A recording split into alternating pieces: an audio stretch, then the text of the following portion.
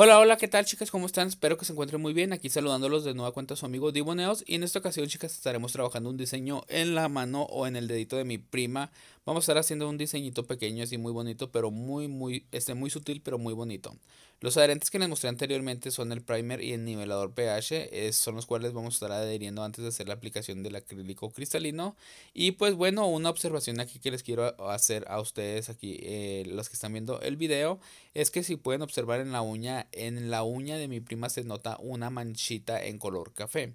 Esa manchita en color café es residuo del acrílico que le quedó donde yo le estuve retirando lo que es la base que traía, eh, bueno, la uña anterior que traía ella.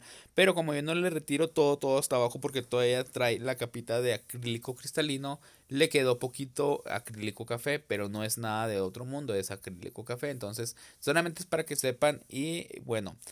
Vamos a estar haciendo la primera aplicación de esta perla que es una perla de acrílico cristalino pequeña y muy húmeda para estar haciendo una base pues sobre la uña natural para evitar lo mismo que les dije anteriormente, la pigmentación.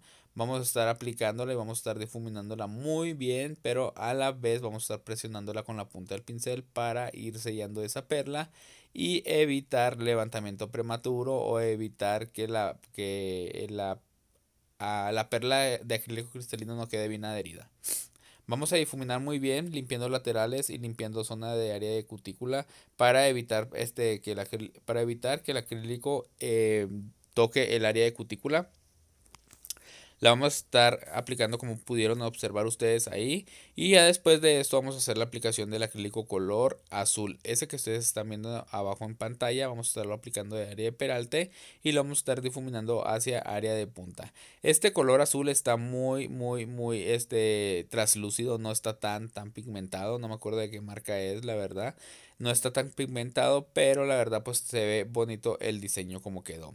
Vamos a estar haciendo una aplicación de varias perlitas, de algunas perlitas sobre esta base de la uña, porque vamos a estar haciendo la técnica hombre de difuminado eh, de lo que vamos a estar haciendo del acrílico azul y le vamos a estar difuminando un cover color nude. Vamos a estar haciendo la aplicación de esta pelita pequeña en área de punta. La vamos a estar difuminando muy bien hacia área de peralte de igual manera para, que, para tratar de dejar el color uniforme. Recuerden chicas, siempre, siempre, siempre ir presionando y difuminando eh, lo que son las perlas de acrílico que vamos aplicando sobre la uña para evitar dejar borditos o evitar dejar muy, muy este gruesa lo que es la uña. Aquí ya que secó un poquito la uña le empiezo a poner otra perlita un poquito más pequeña pero a la vez un poco más húmeda y la voy difuminando hacia área de punta para cubrir mucho mejor lo que es la base de la uña. Vamos a difuminarlo muy bien y así es como va a quedar lo que se esté difuminado. Vamos a difuminar perfectamente bien lo que es la punta de la uña y aquí chicas vamos a hacer el difuminado del acrílico nude. Vamos a estar aplicando una perla en el área de cutícula. La vamos a estar presionando perfectamente hasta área de zona y vamos a estar difuminando muy bien hacia área de punta. Recuerden que ella, mi prima, tiene una, las uñas muy, muy, muy pequeñas puesto que ella se las come. Entonces, aquí es un batallar a veces para hacer los diseños porque pues ella tiene ese problemita y yo tengo que estar trabajando solamente en la base, en lo que, lo que hay de base de, de uña natural para pegar el tip y todo eso. Aquí lo que estoy haciendo es difuminar muy bien y estoy presionando perfectamente la perla en el área de cutícula para sellarla perfectamente bien.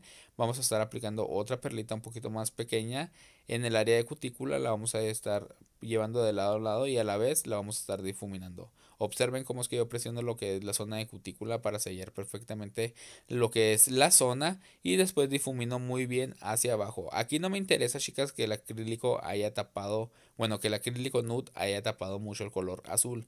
¿Por qué? Porque a continuación vamos a estar haciendo una aplicación de una perlita de acrílico azul.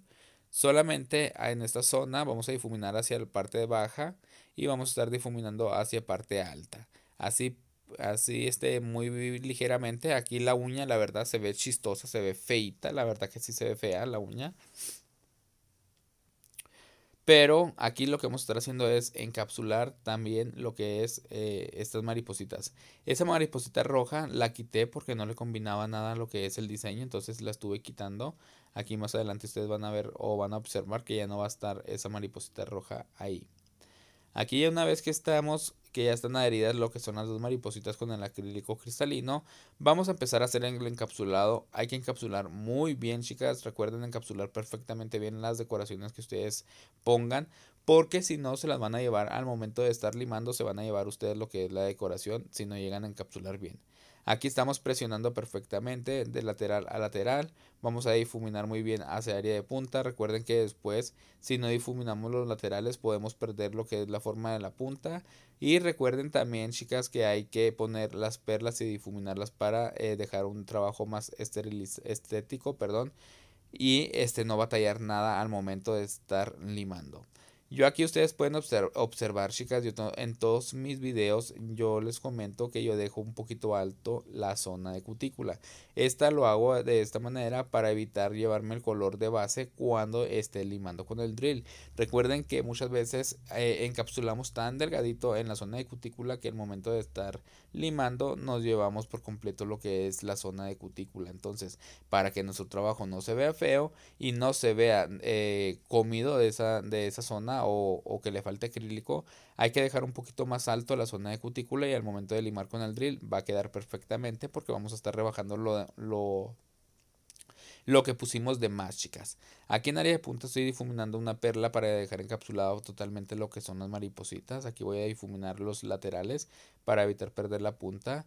Y este más adelantito van a estar viendo cómo es que yo limo porque pues aquí sí les mostré. Cuando es una, una, un dedo adicional a lo que son los míos y les muestro cómo limo.